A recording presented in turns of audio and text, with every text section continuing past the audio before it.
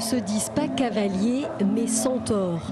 Ces créatures mi-animales, mi-humaines prennent vie sous le chapiteau le temps d'un poème. Sur ce lit, deux couples centaures vont se réunir en une lente danse sensuelle. Un centaure, c'est une relation entre deux parties, une partie humaine, une partie animale. Et, et finalement, c'est quelque chose qui nous est très personnel, cette idée de centaure un peu folle comme ça. Mais finalement, c'est quelque chose de très universel. Parce que je crois que pour tout le monde, c'est une vérité absolue. On n'existe que dans la relation à l'autre. Tous les matins, le couple se lève pour donner vie à ces créatures impossibles. Depuis dix ans, ils réalisent aussi des courts-métrages à l'étranger avec leur acteur Centaure. À Istanbul, la ville où tout se vend et s'achète, ils se sont demandé si un humain et une centauresse pouvaient se rencontrer. C'était très bien, mais un petit peu court. Mais il y a un grand travail avec les chevaux quand même.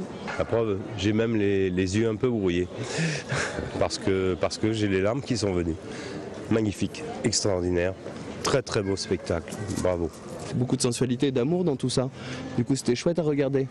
Hein c'était calme.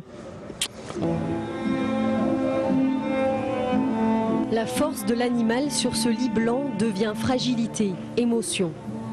Tous ces poèmes seront regroupés en un recueil spectacle joué au mois de juin à Marseille.